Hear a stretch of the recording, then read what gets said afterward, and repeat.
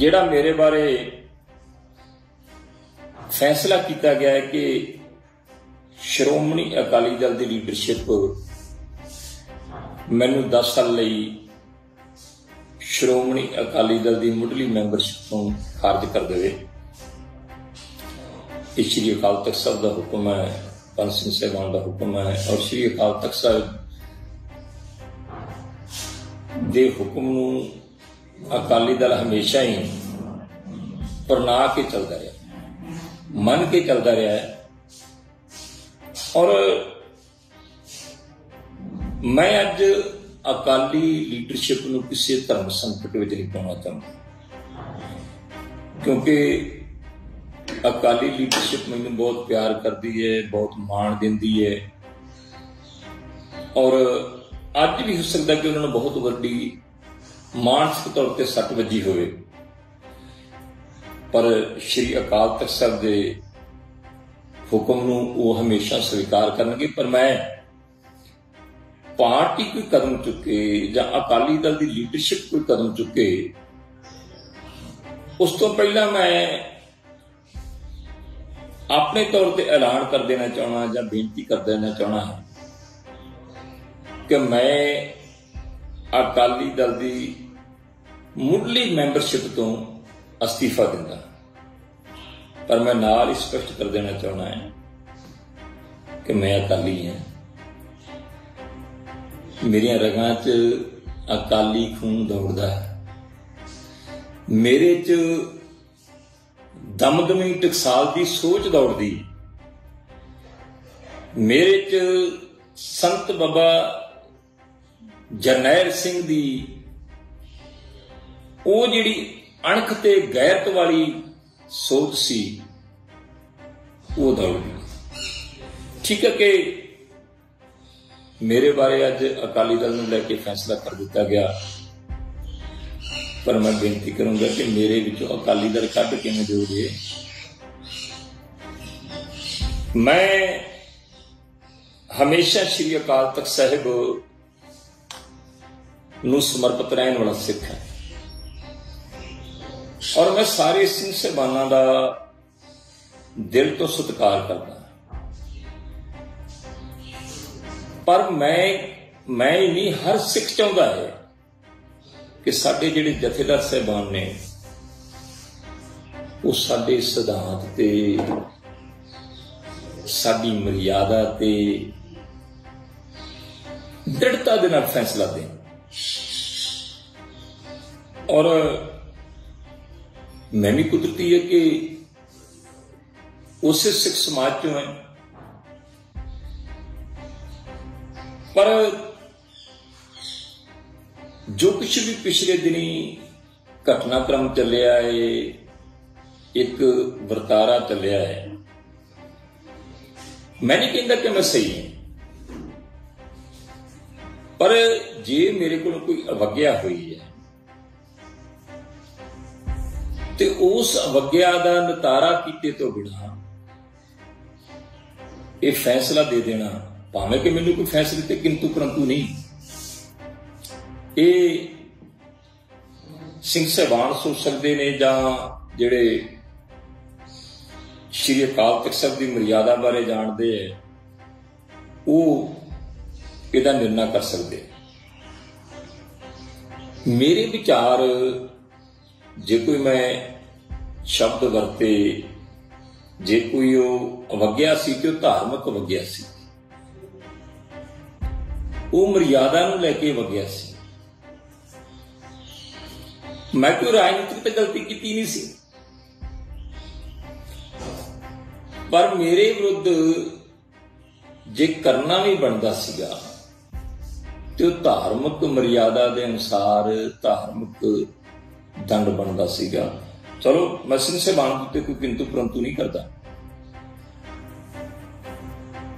ਪਰ ਮੇਰੇ ਵਿਰੁੱਧ, ਜਿਨੇ ਹਮੇਸ਼ਾ ਹੀ ਸਿੱਖ ਵਿਰੋਧੀ ਸ਼ਕਤੀਆਂ ਦੇ ਨਾਲ, ਸਿੱਖ ਵਿਰੋਧੀ ਤਾਕਤਾਂ ਦੇ ਨਾਲ ਔਰ ਅਕਾਲੀ ਦਲ ਦੀਆਂ ਵਿਰੋਧੀ ਸ਼ਕਤੀਆਂ ਦੇ ਨਾਲ ਹਮੇਸ਼ਾ ਲੋਹਾ ਰਿਹਾ ਆ, ਤੇ ਮੈਨੂੰ ਅਕਾਲੀ ਦਲ ਤੋਂ ਪਾਸੇ ਕਰਨ ਵਾਸਤੇ ਜੋ ਫੈਸਲਾ ਕੀਤਾ ਚਾਹੇ ਮੈਨੂੰ ਪ੍ਰਵਾਨ ਹੈ, ਤੇ ਕਿਤੇ ਇਹਦੇ ਪਿੱਛੇ ਇਹ ਸ਼ਾਸਤ ਨਹੀਂ ਕਿ ਜਿਹੜੀ ਮੈਂ ਖਦਸ਼ੇ ਜ਼ਾਹਰ ਕਰਦਾ ਸੀ,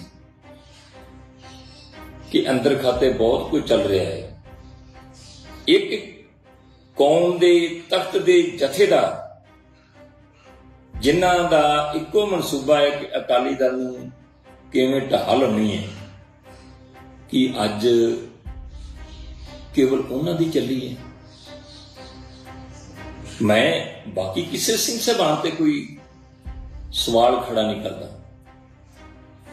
ਅੱਜ ਦੀ ਸਾਰੀ ਕਾਰਵਾਈ ਜਿਹੜੀ ਮੇਰੀ ਪੇਸ਼ੀ ਹੋਈ ਹੈ ਪੰਜ ਸਿੰਘ ਸਾਹਿਬਾਨ ਦੇ ਸਾਹਮਣੇ, ਉਹਦੀ ਸਾਰੀ ਦੀ ਵੀਡੀਓਗ੍ਰਾਫੀ ਹੋਈ ਤੇ ਵੀਡੀਓਗ੍ਰਾਫੀ ਦੇ ਵਿੱਚ ਜਿਹੜੇ ਮੈਨੂੰ ਸਵਾਲ ਕੀਤੇ ਗਏ, ਮੈਂ ਹਰੇਕ ਸਵਾਲ ਦਾ ਜਵਾਬ ਤਸੱਲੀ ਨਾਲ ਦਿੱਤਾ ਹੈ। ਵੀਡੀਓਗ੍ਰਾਫੀ ਦੇ ਵਿੱਚ ਮੈਂ ਸਾਰੀ ਬੜੀ ਨਿਮਰਤਾ ਦੇ ਨਾਲ, ਬੜੇ ਦਲੀਲ ਦੇ ਨਾਲ ਔਰ ਬੜੀ ਕਲੈਰੀਫਿਕੇਸ਼ਨ ਦੇ ਨਾਲ ਸਿੰਘ ਸਾਹਿਬਾਨ ਨੂੰ ਆਪਣਾ ਸਪਸ਼ਟੀਕਰਨ ਦਿੱਤਾ ਹੈ ਔਰ ਉਹਨਾਂ ਦੇ ਸਵਾਲਾਂ ਦਾ ਜਵਾਬ ਦਿੱਤਾ ਹੈ।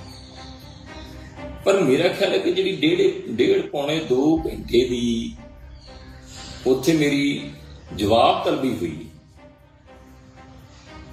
ਤੇ ਉਹਦੇ ਤੋਂ ਥੋੜਾ ਬਹੁਤ ਸਮਾਂ ਜਿਹੜਾ ਮੈਨੂੰ ਮਿਲਿਆ ਹੋਊਗਾ, ਉਹੀ ਹੈ। ਤੇ ਜਾਂ ਉਹਦੇ ਚੋਂ ਜਿਹੜੇ 5-7 ਮਿੰਟ ਬਾਕੀ ਸਿੰਘ ਸਾਹਿਬਾਨ ਨੇ ਲਾਏ ਹੋਣਗੇ, ਸਾਰਿਆਂ ਨੇ। ਬਾਕੀ ਚੌਂ ਸਿੰਘ ਸਾਹਿਬਾਨਾਂ ਨੇ। ਤੇ ਬਾਕੀ ਮੇਰਾ ਖਿਆਲ ਹੈ ਕਿ ਜਿਹੜਾ ਸਵਾ ਘੰਟੇ ਦੇ ਕਰੀਬ ਜਿਹੜੀ ਹੈ, ਉਹ ਜਿਹੜਾ ਆ, ਭਾਸ਼ਣ ਜਿਹੜਾ ਹੈ, ਜਿਹੜੀ ਅਕਾਲੀ ਦਲ ਦੇ ਵਿਰੁੱਧ ਕੜਤਨ ਸ਼੍ਰੋਮਣੀ ਗੁਰਦੁਆਰਾ ਪ੍ਰਬੰਧਕ ਕਮੇਟੀ ਦੇ ਵਿਰੁੱਧ ਕੜਤਨ ਤੇ ਜਾਂ ਬੀਜੇਪੀ ਨਾਲ ਸਾਂਝਾ ਦੇ ਧਮਗਜੇ ਕੇਂਦਰੀ ਸਰਕਾਰ ਦੇ ਨਾਲ ਸਾਂਝ ਉੱਤੇ ਮਾਣ ਮਹਿਸੂਸ ਕਰਨਾ, ਇੱਥੋਂ ਤੱਕ ਕਹਿਣਾ ਕਿ ਮੇਰੀ ਤੇ ਚੰਜਿਤ ਚੰਨੀ ਨਾਲ ਵੀ ਸਾਂਝ ਹੈ, ਮੇਰੀ ਕੈਪਟਨ ਅਮਰਿੰਦਰ ਸਿੰਘ ਨਾਲ ਵੀ ਸਾਂਝ ਹੈ, ਮੇਰੀ ਭਗਵੰਤ ਮਾਨ ਨਾਲ ਵੀ ਸਾਂਝ ਹੈ, ਮੇਰੀ ਰਾਘਵ ਚੱਡਾ ਨਾਲ ਵੀ ਸਾਂਝ ਹੈ, ਮੈਨੂੰ ਸਾਰੇ ਪਿਆਰ ਕਰਦੇ ਆ, ਮੈਂ ਉਹਨਾਂ ਦੇ ਨਾਲ ਇੱਕ ਗਿਆਨੀ ਹਰਪ੍ਰੀਤ ਸਿੰਘ ਹੋਰਾਂ ਨੇ ਬੜੇ ਵੇਰਵੇ ਦੇ ਨਾਲ ਵਾਰ-ਵਾਰ ਅਗਰੈਸਿਵਲੀ ਜਿਹੜਾ ਇਹਨਾਂ ਗੱਲਾਂ ਦਾ ਟੁੱਟਾਵਾ ਕੀਤਾ ਸ਼ਾਇਦ ਉਹਨਾਂ ਦਾ ਇੰਨਾ ਕੁ ਪਾਰਾ ਹਾਈ ਸੀ ਕਿ ਉਹਨਾਂ ਦਾ ਆਪਣੇ ਸ਼ਬਦਾਂ ਤੇ ਵੀ ਕੰਟਰੋਲ ਨਹੀਂ ਸੀ। ਮੈਂ ਵਾਰ-ਵਾਰ ਇਹ ਵੀ ਕਿਹਾ ਕਿ ਜਥੇਦਾਰ ਜੀ, ਇੰਨੇ ਗਰਮ ਕਿਉਂ ਹੁੰਦੇ ਜੇ? ਹਾਂਜੀ? ਤੇ ਮੈਂ ਕਿਹਾ ਪਰ ਨਿਮਰਤਾ ਨਾਲ ਗੱਲ ਕਰੀਏ, ਦਲੀਲ ਨਾਲ ਗੱਲ ਕਰੀਏ। ਔਰ ਜੇ ਮੈਂ ਜਵਾਬ ਦੇਣ ਲੱਗਦਾ ਸੀਗਾ, ਤੇ ਵਿੱਚੋਂ ਹੀ ਫਿਰ ਭੌਂ ਕੇ ਕੋਈ ਹੋਰ ਗੱਲ ਕਰ ਦਿੱਤੀ ਜਾਂਦੀ ਸੀ, ਪਰ ਮੈਂ ਵੀ ਕਿਉਂਕਿ ਅਸੀਂ ਵੀ ਬਾਬੇ ਜਰਨੈਲ ਸਿੰਘ ਦੇ ਝੰਡੇ ਹੋਏ ਆ ਤੇ ਮੈਂ ਵੀ ਜਵਾਬਾਂ ਵਾਲੀ ਜਿਹੜੀ ਗੁਰਮਤ ਮਰਿਆਦਾ ਅਨੁਸਾਰ ਬਣਦਾ ਸੀਗਾ, ਉਹ ਮੈਂ ਅਦਾ ਕੀਤਾ। ਪਰ ਪਰ ਮੈਂ ਕੁਝ ਸਵਾਲ ਵੀ ਕੀਤੇ।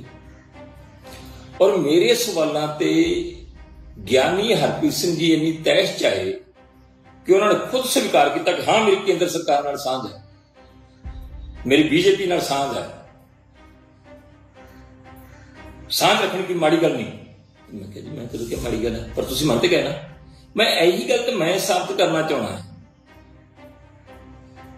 ਕਿ ਸਾਡੇ ਜਥੇਦਾਰ ਗਿਆਨੀ ਹਰਪ੍ਰੀਤ ਸਿੰਘ ਹੋਰਾਂ ਦੀ ਬੀਜੇਪੀ ਦੇ ਨਾਲ ਤੇ ਕੇਂਦਰ ਸਰਕਾਰ ਦੇ ਨਾਲ ਸਾਂਝ ਹੈ। ਤੇ ਮੈਂ ਫਿਰ ਬਾਕੀ ਸਿੰਘ ਸਾਹਿਬਾਨ ਨੂੰ ਸਵਾਲ ਕੀਤਾ, ਬੇਨਤੀ ਕੀਤੀ ਕਿ ਮੈਂ ਕਿਹਾ ਸਿੰਘ ਸਾਹਿਬਾਨ, ਤੁਸੀਂ ਬੜੇ ਚਿਰ ਤੋਂ ਜਥੇਦਾਰੀਆਂ ਹਟਾ ਗਏ ਜੀ, ਪੰਥਕ ਸਭਾ ਚ ਮੋਰੀ ਜੀ। ਤੁਹਾਨੂੰ ਕਦੀ ਕਿਸੇ ਹੋਰ ਪਾਰਟੀ ਦਾ ਫੋਨ ਆਇਆ ਹੋਵੇ ਜਾਂ ਤੁਹਾਡੇ ਨਾਲ ਕਿਸੇ ਨੇ ਸੰਪਰਕ ਕੀਤਾ ਹੋਵੇ, ਤੁਹਾਡੇ ਨਾਲ ਅਮਤ ਸ਼ਾਹ ਵਰਗਿਆਂ ਨੇ ਕਦੀ ਸੰਪਰਕ ਕਰਨ ਦੀ ਕੋਸ਼ਿਸ਼ ਕੀਤੀ ਹੋਵੇ? ਕਿਸੇ ਨਾਲ ਵੀ, ਕਿਸੇ ਵੀ ਹੋਰ ਰਾਜਨੀਤਿਕ ਪਾਰਟੀ ਦੇ ਵੱਡੇ ਤੋਂ ਵੱਡੇ ਆਦਮੀ ਨੇ ਤੁਹਾਡੇ ਨਾਲ ਕਿਸੇ ਨੇ ਸੰਪਰਕ ਕਰਨ ਦੀ ਕੋਸ਼ਿਸ਼ ਕੀਤੀ ਹੋਵੇ ਜਾਂ ਹੋਇਆ ਹੋਵੇ? ਉਹ ਕਹਿੰਦੇ ਨਹੀਂ। ਤੇ ਮੈਂ ਕਿਹਾ ਇਹ ਸਾਰੇ ਜਿਹੜੇ ਸੰਪਰਕ ਹੈ ਇਹ ਸਾਰੀਆਂ ਸਾਂਝਾਂ ਜਿਹੜੀਆਂ ਨੇ ਗਿਆਨੀ ਹਰਪ੍ਰੀਤ ਸਿੰਘ ਹੋਰਾਂ ਦੀਆਂ ਕਿਉਂ ਹਨ? ਤੇ ਮੈਂ ਕਿਹਾ, ਮੈਂ ਤੇ ਆਪਦੇ ਸਪਸ਼ਟੀਕਰਨ ਚ ਵੀ ਸਪਸ਼ਟ ਕੀਤਾ ਹੈ ਕਿ ਇਹਨਾਂ ਨੇ ਲਗਭਗ 2 ਸਾਲ ਪਹਿਲਾਂ ਵੀ ਕਿਹਾ ਸੀਗਾ ਕਿ ਮੇਰੇ ਉੱਤੇ ਬਹੁਤ ਵੱਡਾ ਦਬਾਅ ਹੈ ਅਜੇ ਰੁਕ ਜਾਓ। ਹੁਣ ਜਿਹੜੀ ਮੈਂ ਗੱਲ ਜਿਹੜੀ ਸਪਸ਼ਟ ਕਰਨਾ ਚਾਹੁੰਦਾ ਹਾਂ, ਮੈਂ ਬਾਕੀ ਸਾਰੇ ਸਿੰਘ ਸਹਿਬਾਨ ਦੇ ਚਰਨਾਂ 'ਚ ਸੀਸ ਝੁਕਾ ਕੇ, ਭਾਵੇਂ ਕਿ ਅੱਜ ਮੁੱਖ ਰੂਪ 'ਚ ਗਿਆਨੀ ਹਰਪ੍ਰੀਤ ਸਿੰਘ ਹੋਰੀ ਮੀਟਿੰਗ ਦੇ ਵਿੱਚ ਡੋਮੀਨੇਟ ਕਰ ਰਹੇ ਸੀ। ਉਹਨਾਂ ਦੀ ਕੋਸ਼ਿਸ਼ ਸੀ ਕਿ ਮੇਰੇ ਜਵਾਬ ਵੀ ਨਾ ਰਿਕਾਰਡ ਹੋ ਸਕਣ ਤੇ ਜੋ ਕੁਝ ਉਹ ਬੋਲਣਾ ਚਾਹੁੰਦੇ ਆ, ਉਹ ਸਾਰਾ ਕੁਝ ਰਿਕਾਰਡ ਤੇ ਆ ਜੀ। ਪਰ ਮੈਂ ਫਿਰ ਵੀ ਮਹਿਸੂਸ ਕਰਦਾ ਕਿ ਜੋ ਕੁਝ ਮੈਂ ਉਸ ਮਰਿਆਦਾ ਨੂੰ ਮੁੱਖ ਰੱਖਦਿਆਂ ਹੋਇਆ ਜਵਾਬ ਦਿੱਤੇ ਨੇ ਜਾਂ ਸਿੰਘ ਸਾਹਿਬਾਨ ਨੂੰ ਬੇਨਤੀਆਂ ਕੀਤੀਆਂ ਨੇ, ਤੇ ਮੇਰੀਆਂ ਉਹਨਾਂ ਸਾਰੇ ਦੇ ਵਿੱਚ ਬਹੁਤ ਮਰਿਆਦਾ ਦੇ ਅਨੁਸਾਰ ਦਲੀਲਾਂ ਨੇ।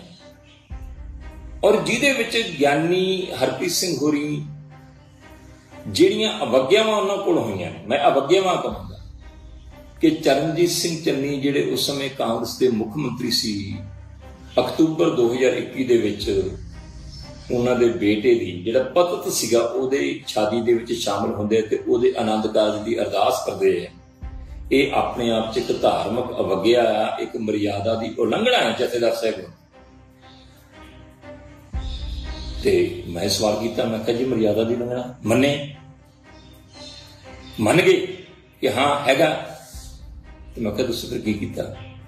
ਅੰਦਰ ਚੰਨੀ ਨਾਲ ਮੇਰਾ ਪਿਆਰ ਹੈ ਚੰਨੀ ਨਾਲ ਮੇਰੀ ਸਾਂਝ ਹੈ ਪਰ ਮੈਂ ਹੈਰਾਨ ਸੀਗਾ ਕਿ ਚੰਨੀ ਜਿਹਦੇ ਉੱਤੇ ਇਹ ਦੋਸ਼ ਨੇ ਕਿ ਇੱਕ ਲੇਡੀ ਆਫੀਸਰ ਆਈਐਸ ਆਫੀਸਰ ਦੇ ਨਾਲ, ਜਿਹਦੇ ਮੀਟੂ ਦੇ ਚਰਚੇ ਚੱਲੇ, ਤੇ ਸਾਡੇ ਜਹਦਰ ਹੋਰਾਂ ਦੀ ਉਹਨਾਂ ਦਾ ਸਾਂਝ ਨਾਲ। ਔਰ ਉਹ ਪਾਰਟੀ ਜਿਹਨੇ ਸ਼੍ਰੀ ਅਕਾਲ ਤਖਤ ਸਾਹਿਬ ਦੇ ਉੱਤੇ ਹਮਲਾ ਕੀਤਾ, ਉਹਦਾ ਮੁੱਖ ਮੰਤਰੀ ਦੇ ਨਾਲ ਇਹਨਾਂ ਦੀ ਸਾਂਝ ਹੈ। ਤੇ ਮੈਂ ਕਿਹਾ ਜੀ, ਤੁਹਾਨੂੰ ਮੈਂ ਕਿਹਾ ਜਥੇਦਾਰ ਹੁੰਦਿਆਂ ਇਹ ਮਹਿਸੂਸ ਨਾ ਹੋਇਆ ਕਿ ਕਿ ਸ਼੍ਰੀ ਅਕਾਲ ਤਖਤ ਸਾਹਿਬ ਨੂੰ ਢੋਹ ਟਹਿ ਢੇਰੀ ਕਰਨ ਵਾਲੀ ਕਾਂਗਰਸ ਦੇ ਮੁੱਖ ਮੰਤਰੀ ਦੇ ਵਿਆਹ ਦੇ ਵਿੱਚ ਸ਼ਾਮਲ ਹੋ ਰਹੇ ਚਲੋ ਹੋਰ ਬਹੁਤ ਕੁਝ ਹੋਇਆ, ਪਰ ਮੈਂ ਜੋ ਸਾਬਤ ਕਰਨਾ ਚਾਹੁੰਦਾ ਸੀਗਾ ਕਿ ਗਿਆਨੀ ਹਰਪ੍ਰੀਤ ਸਿੰਘ ਹੋਰਾਂ ਦੀ ਬੀਜੇਪੀ ਦੇ ਨਾਲ, ਕੇਂਦਰ ਸਰਕਾਰ ਦੇ ਨਾਲ ਅਮਿਤ ਸ਼ਾਹ ਦੇ ਨਾਲ ਜਾਂ ਹੋਰ ਜਿਹੜੇ ਸੱਤਾਧਾਰੀ ਧਿਰਾਂ ਨੇ ਉਹਨਾਂ ਦੇ ਨਾਲ ਸਾਂਝਾਂ ਦਾ ਜਿਹੜਾ ਐ ਵੇਰਵੇ ਦੇ ਨਾਲ ਸਾਰਾ ਕੁਝ ਮੈਂ ਜਿਹੜਾ ਆ, ਉਹ ਸਾਬਤ ਕਰਤਾ, ਜਿਹੜਾ ਕਿ ਉਸ ਵੀਡੀਓਗ੍ਰਾਫੀ ਦੇ ਵਿੱਚ ਸ਼ਾਮਲ ਹੈ।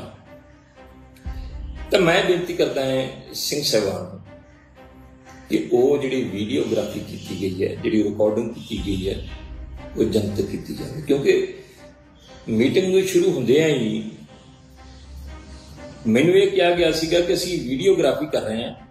ਤੇ ਅਸੀਂ ਇਹਨੂੰ ਪ੍ਰੈਸ ਨੂੰ ਰਿਲੀਜ਼ ਕਰਾਂਗੇ।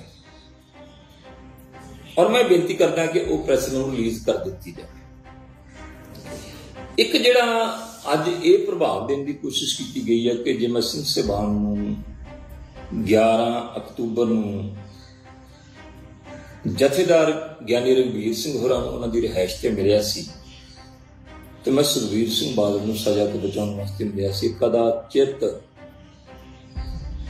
ਅਜਿਹੀ ਗੱਲ। ਨਹੀਂ ਇਹ ਇੱਕ ਤਰ੍ਹਾਂ ਦਾ ਮੈਂ ਇਹ ਕਹਿ ਲਵਾਂ ਕਿ ਮੇਰੇ ਮੈਨੂੰ ਹੁਣ ਸ਼ਬਦ ਨਹੀਂ ਲੱਭਦੇ ਕਿ ਮੈਨੂੰ ਇਹ ਜਦ ਤੱਕ ਜੇ ਮੈਂ ਆਹ ਸ਼ਬਦ ਵਰਤ ਲਏ ਤੇ ਕਿਤੇ ਉਹ ਗੈਰ ਮਰਜ਼ਾਦਾ ਵਾਲੇ ਨਾ ਹੋ ਜਾਣ। ਸਿੰਘ ਸਹਿਬਾਨ ਨੂੰ ਇਹ ਨਹੀਂ ਸੀ ਚਾਹੀਦਾ ਕਿ ਉਹ ਸੰਗਤ ਨੂੰ ਗੁੰਮਰਾਹ ਕਰਦੇ ਕਿ ਵਿਰਸਾ ਸਿੰਘ ਬਲਟੋਹਾ ਇਸ ਗੱਲ ਦਾ ਮਹਿਤੀ ਸੀਗਾ ਕਿ ਸੁਰਵੀਰ ਸਿੰਘ ਬਾਦਲ ਨੂੰ ਸਜ਼ਾ ਨਾ ਦਿੱਤੀ ਜਾਵੇ।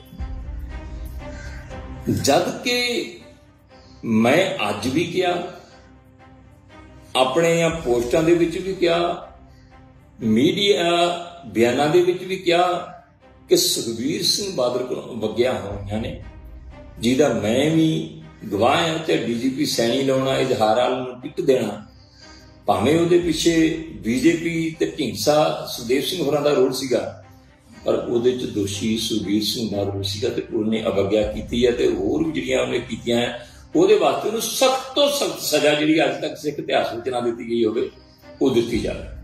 ਮੈਂ ਕਿਹਾ ਮੈਨੂੰ ਕੋਈ ਇਤਰਾਜ਼ ਨਹੀਂ। ਮੈਂ ਚਾਹਣਾ ਪਰ ਮੈਂ ਇੱਕ ਗੱਲ ਜ਼ਰੂਰ ਕੀਤੀ ਸੀ ਕਿ ਵੇਖਿਆ ਜੇ ਕਿਤੇ ਕਾਲੀ ਦਲ ਦਾ ਨੁਕਸਾਨ ਨਾ ਕਰੇ, ਉਹ ਮੈਂ ਪਹਿਲਾਂ ਨੂੰ ਕਹਿੰਦਾ ਸੀ। ਹਾਂਜੀ, ਮੈਂ ਆਪਣੀ ਪੋਸਟਾਂ 'ਚ ਵੀ ਕਿਹਾ, ਮੈਂ ਮੀਡੀਆ 'ਚ ਵੀ ਕਿਹਾ ਆ ਮੈਂ ਜਥੇਦਾਰ ਸਹਿਬਾਨ ਨੂੰ ਵੀ ਮਿਲ ਕੇ ਬੇਨਤੀ ਕੀਤੀ ਸੀ।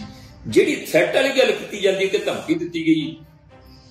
ਤੇ ਜਥੇਦਾਰ ਸਾਹਿਬ ਦੀ ਜਿਹੜੀ ਰਿਕਾਰਡਿੰਗ ਹੋਈ ਵੀਡੀਓਗ੍ਰਾਫੀ ਹੋਈ, ਉਹਦੇ ਵਿੱਚ ਉਹਨਾਂ ਖੁਦ ਕਿਹਾ ਕਿ ਬੜੇ ਖੁਸ਼ਗਵਾਰ ਮਾਹੌਲ ਦੇ ਵਿੱਚ, ਬੜੇ ਹਾਸੇ ਠੱਠੇ ਦੇ ਵਿੱਚ ਜਿਹੜੀ ਸਾਰੀ ਗੱਲਬਾਤ ਹੋਈ। ਹੁਣ ਕੀ ਰੰਗਤ ਦੇਣੀ ਆ, ਕਿਸ ਰੂਪ ਚ ਰੰਗਤ ਦੇਣੀ ਆ? ਤੇ ਜਥੇਦਾਰ ਸਾਹਿਬਾਨ ਉਹ ਸਮਰੱਥ ਨੇ। ਮੈਂ ਬਸ ਇਹਨਾਂ ਕਹਿਣਾ ਚਾਹਣਾ ਹੈ ਕਿ ਕਿ ਮੈਂ ਕਿਸੇ ਤਰ੍ਹਾਂ ਦਾ ਕੋਈ ਅਜਿਹਾ ਕਦੇ ਵੀ ਸੁਖਬੀਰ ਸਿੰਘ ਬਾਦਲ ਦੇ ਹੱਕ ਦੇ ਵਿੱਚ ਕਿ ਉਹਨੂੰ ਸਜ਼ਾ ਨਾ ਦਿੱਤੀ ਜਾਵੇ ਜਾਂ ਘੱਟ ਦਿੱਤੀ ਜਾਵੇ, ਮੈਂ ਤਾਂ ਅੱਜ ਵੀ ਮਦਈ ਹਾਂ ਕਿ ਉਹਨੂੰ ਧਾਰਮਿਕ ਦੰਡ ਜਿਹੜਾ ਆ, ਜਿਹੜੀ ਉਹਨੇ ਅਵਗਿਆ ਕੀਤੀ, ਉਹਦੇ ਮੁਤਾਬਕ ਸਖਤ ਤੋਂ ਸਖਤ ਦਿੱਤਾ ਜਾਵੇ। ਪਰ ਮੇਰੀ ਕੋ ਮੰਗ ਸੀ ਕਿ ਛੇਤੀ ਦਿੱਤਾ ਜਾਵੇ ਕਿਉਂਕਿ ਉਹਨਾਂ ਦੀ ਬੇਟੀ ਦੀ ਸ਼ਾਦੀ ਰੱਖੀ ਹੋਈ। ਔਰ ਮੈਂ ਅੱਜ ਮਹਿਸੂਸ ਕਰਦਾ ਹਾਂ ਕਿ ਇੱਕ ਸਗਨ ਹੈ। ਅੱਜ ਵਿਰਸਾ ਸਿੰਘ ਬਲਟੋਹਾ ਦੇ ਵਿਰੁੱਧ ਜਿਹੜਾ ਆਦੇਸ਼ ਜਾਰੀ ਕੀਤਾ ਗਿਆ, ਜਿਹੜੇ ਮੈਂ ਖਦਸ਼ੇ ਪ੍ਰਗਟ ਕਰਦਾ ਸੀ ਜਾਂ ਕਾਲੀ ਦਲ ਖਦਸ਼ੇ ਪ੍ਰਗਟ ਕਰਦਾ ਸੀਗਾ, ਉਹਦਾ ਇੱਕ ਸਿਗਨਲ ਤੇ ਇੱਕ ਸੂਚਕ ਹੈ ਕਿ ਅਕਾਲੀ ਦਲ ਦੇ ਵਿਰੁੱਧ ਗਿਆਨੀ ਹਰਪ੍ਰੀਤ ਸਿੰਘ ਜੀ ਹੋਰਾਂ ਦੀ ਜੋ ਨੀਤੀ ਹੈ ਉਹਨੂੰ ਜਿਹੜਾ ਆ ਅਮਲੀ ਜਾਮਾ ਪਹਿਨਾਉਣਾ ਜਿਹੜਾ ਆ, ਉਹ ਸ਼ੁਰੂ ਕਰ ਦਿੱਤਾ ਗਿਆ। ਔਰ ਦੇਖੋ ਮੈਂ ਸੰਤ ਜਰਨੈਲ ਸਿੰਘ ਹੋਰਾਂ ਦੀ ਸੰਗਤ ਕੀਤੀ ਉਹਨਾਂ ਦੇ ਸਮੇਂ ਵੀ ਜਥੇਦਾਰ ਸਹਿਬਾਨ ਨੇ ਕੁਝ ਇਸ ਤਰ੍ਹਾਂ ਦੇ ਹੁਕਮਨਾਮੇ ਜਾਰੀ ਕੀਤੇ ਸੀ ਜਿਨ੍ਹਾਂ ਨੇ ਜਿਨ੍ਹਾਂ ਦੇ ਉੱਤੇ ਉਹਨਾਂ ਨੇ ਬੜਾ ਠੋਕਵਾ ਇਤਰਾਜ਼ ਕੀਤਾ ਸੀਗਾ ਬੜੇ ਸਖਤ ਸ਼ਬਦਾਂ ਦੇ ਵਿੱਚ ਇਤਰਾਜ਼ ਕੀਤਾ ਸੀਗਾ ਅਸੀਂ ਤੇ ਫਿਰ ਨਿਮਰਤਾ ਨਾਲ ਗੱਲ ਕਰਦੇ ਹਾਂ ਜਥੇਦਾਰ ਸਹਿਬਾਨ ਨੇ ਸਾਡੇ ਸਤਿਕਾਰਯੋਗ ਨੇ ਅਸੀਂ ਰਾਏ ਤੇ ਦੇ ਸਕਦੇ ਹਾਂ ਨਾ ਇੱਕ ਸਿੱਖ ਹੋਣ ਦੇ ਨਾਤੇ ਔਰ ਜੇ ਤੇ ਮੇਰੇ 'ਚ ਕੋਈ ਕਮੀ ਹੈ ਮੇਰੇ ਸਿੱਖੀ ਜੀਵਨ 'ਚ ਕਮੀ ਹੈ। ਮੇਰੇ ਕੌਮੀ ਫਰਜ਼ਾਂ ਪ੍ਰਤੀ ਕਮੀ ਹੈ। ਤੇ ਜੇ ਮੈਂ ਕੇਵਲ ਤੇ ਕੇਵਲ ਕੱਲਾ ਰਾਜਨੀਤਿਕ ਹੈ, ਹਾਂਜੀ? ਤੇ ਫਿਰ ਤੇ ਮੇਰੇ ਤੇ ਤੁਸੀਂ ਇਤਰਾਜ਼ ਕਰ ਸਕਦੇ ਜੀ। ਵਿਰਸਾ ਸਿੰਘ ਬਟੋਹਾ ਉਹ ਹੈ, ਜਿਹੜਾ ਅੱਜ ਵੀ ਗੁਰੂ ਦੇ ਆਸ਼ੇ ਦੇ ਅਨੁਸਾਰ ਤੇ ਸੰਤ ਬਾਬਾ ਜਰਨੈਲ ਸਿੰਘ ਦੀ ਦਿੱਤੀ ਹੋਈ ਸੋਚ ਦੇ ਮੁਤਾਬਕ ਚੱਲਦਾ ਹੈ। ਠੀਕ ਹੈ ਕਿ ਮੈਂ ਮਹਿਸੂਸ ਕਰਦਾ ਕਿ ਉਹਨਾਂ ਦਾ ਬਹੁਤ ਵੱਡਾ ਰਤਬਾ ਸੀ ਬਾਬਾ ਜਰਨੈਲ ਸੋਹਰਾ ਦਾ ਹੀ। ਉਹਨਾਂ ਦੀ ਰਿਸਕੀ ਉਹਨਾਂ ਦੇ ਪੈਰਾਂ ਦੀ ਧੂੜ ਵਰਗੇ ਨਹੀਂ, ਪਰ ਉਹਨਾਂ ਨੇ ਕਿਹਾ ਸੀ ਕਿ ਜਿੱਥੇ ਵੀ ਕਿਤੇ ਮਰਿਆਦਾ ਦਾ ਕੰਮ ਹੋਵੇ, ਜਿੱਥੇ ਵੀ ਕਿਤੇ ਸਿੱਖੀ ਸਿਧਾਂਤ ਦੀ ਉਲੰਘਣਾ ਹੋਵੇ, ਜਿੱਥੇ ਕਿਤੇ ਵੀ ਕੌਮੀ ਨੁਕਸਾਨ ਹੋਵੇ, ਤੇ ਉੱਥੇ ਚੁੱਪ ਨਹੀਂ ਰਹਿਣਾ, ਚਾਹੇ ਅਗਲੇ ਬੰਦੇ ਵੱਡੀ ਤੋਂ ਵੱਡੀ ਹਸਤੀ ਵੀ ਹੋਵੇ। ਚਲੋ, ਮੈਂ ਗੁਨਾਹ ਕਰ ਲਿਆ ਕਿ ਮੈਂ ਜਥੇਦਾਰ ਸਾਹਿਬਾਨ ਬਾਰੇ ਜਿਹੜਾ ਗਿਆਨੀ ਹਰਪ੍ਰੀਤ ਸਿੰਘ ਹੋਰਾਂ ਬਾਰੇ ਜਿਹੜੀ ਇਹ ਗੱਲ ਆਪਣੀ ਕਰ ਦਿੱਤੀ।